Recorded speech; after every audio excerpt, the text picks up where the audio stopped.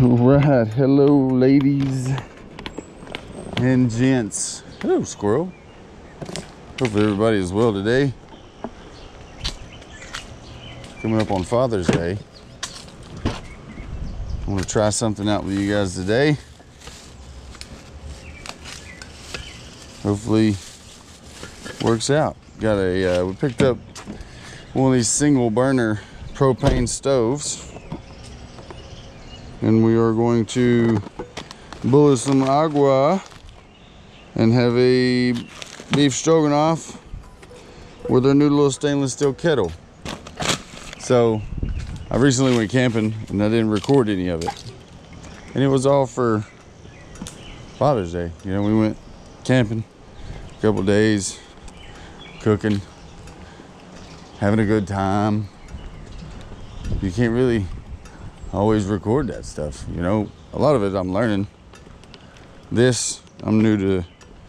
I'm new to propane and propane accessories. They're all new to me. So I've been learning with cooking on one of them two burners. And I, eventually I want to get one of those Jetboils or whatever it is, one of the smaller ones and stuff. So hopefully I can make that happen. I can get this little kit set up here and uh, get everything put together and see what you guys think about it. I need to get some chairs and I need to get everything put together and you ready to try this thing? Yeah, I guess we Yeah. try it. See what it tastes like. Yeah. All right, y'all. I'll let you have at it. Oh Yeah. yeah. Let's see you. You have a good day. Yeah, have a good day. Have a good day as well. Well, Well, it looked like it was enough water. Yeah. Yeah. yeah, it probably could have used a little bit more. So I was probably right. Yeah.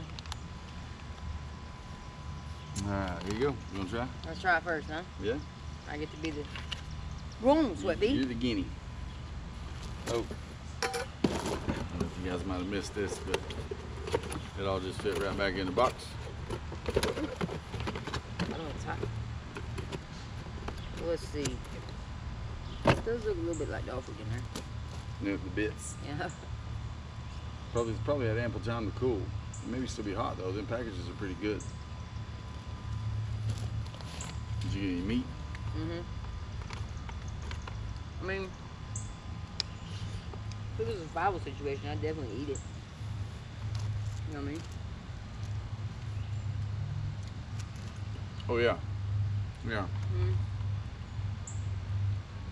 Of the ones we've had, what do you think of this one uh, in comparison? Okay, so compare this one to the one we ate in Florida, the Southwest one. Yeah. It was good, The Southwest one? Mhm. Yeah, it was very good. but I'm not a very big noodle person. I'm not evil. No, I'm not either, but stroganoff is one of the noodles that, like beef stroganoff, is one of the few that I will eat noodles. Mhm. So, I Oh. think that it's a lot of noodles compared to like noodle to meat ratio. You know what I mean? It's a lot of noodles. yeah. But I mean, yeah. Both 12 grams of protein. End of the day, you know, of like out working in the woods and stuff. To eat one of these, oh yeah, say it'd Super. probably be Super easy. super filling, probably. Yeah. The noodles alone. Yeah. But I mean, it's alright though. Yeah. I like it. Mhm. I don't know if I can sit right here right now and eat the whole thing, No, I couldn't. but it's two servings. hmm I feel like this is something you and I would just sit and pass back and forth until it was gone. hmm If we was to camp and, and eat them. Yeah. I think it could have used that little bit of water though. Yep. Just because the meat, I think, hmm didn't have enough water to Absorb. to fully absorb. Yep. But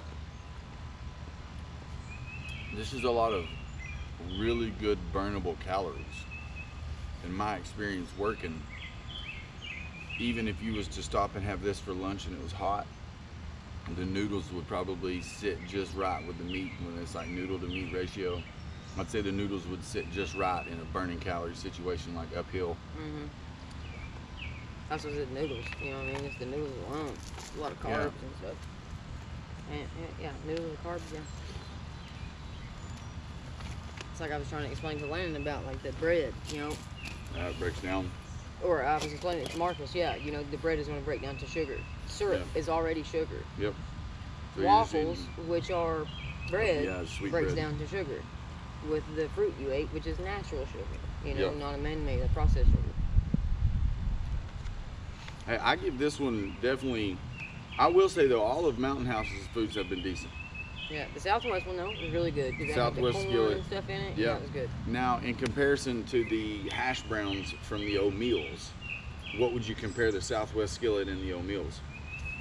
Uh, hash brown, spicy hash browns, because they were consistency got me on them. Mm-hmm. They were gross consistency, Yep. but they they had a really good hash brown flavor. Flavor. Yeah, Mm-hmm. Now, if they could get the flavor and the texture right there. the crunchy potato friedness. Mm-hmm. But they weren't. They were like It was like uh, the frozen hash browns you can buy. it was like mashed potatoes that aren't fully mashed. Yeah, it's weird. Is what it reminded me of. Like stamped cookie cutter hash browns. You know? And we just had a conversation with our neighbor. What? That was 15 minutes. Oh yeah, talking to Mark. Yeah, that's good. Yeah, so with that being said, we just had a conversation with our neighbor. Took, took go ahead, get you a couple bites. One more. We had 10 or 15 minutes to talk to the neighbor, and it's still hot. Mm-hmm. This bag has Good literally, and now it is hot out here, but there was also at the time he was sitting here talking, there was a constant wind. I was worried about it getting cooled off before we could finish this. No concern. But overall, You know, Mark probably seen us up there. He's like, oh, I'm gonna go here and talk to these kids, what they're doing. Yep. you know what I mean? That's probably what Mhm. he was doing up there. These kids that are doing outside today. And I don't mind why my mind always reverts to that. That anybody that's older than us looks at us as kids. yeah. you know what I mean? So what do you think about this thing? Oh yeah, I really like it. This was super handy. Super handy. But which I've talked about it. You know, we both Yeah. talked about it before in the past, and we just never got one. Yeah, we got the bigger one because of the convenience for camping.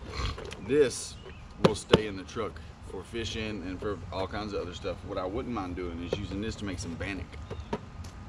Yeah, the bread. Make, yeah, they make that flour bread just flour and water hmm and a little bit of oil in the pan. I think that's something that I would like to be able to master because I can make like bannock pancakes, and we would just have to have a jar of syrup. I wonder if that's an Ozark Trail skillet there. Oh, you know it is. You know it's a Ozark. It had to be. Hopefully you guys have enjoyed the video. I want to say happy Father's Day to everybody. A lot of this video was just sitting around talking about being a dad. I'll probably put some of talking to the neighbor in there about being a dad. And hopefully you guys have enjoyed. I give this, I give this thing right here a 10 out of 10. Super handy. These things are indispensable.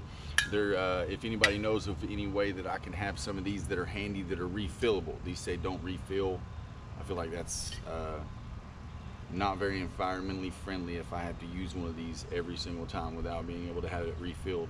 Now, if that's the only thing that I have, understandable. And uh, a little pot. This was not an Ozark Trail. This was a brand that I can't remember.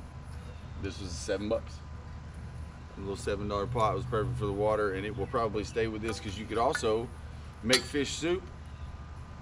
We're gonna try that. I've never had fish soup, so the next time we catch something that's edible, we might try that.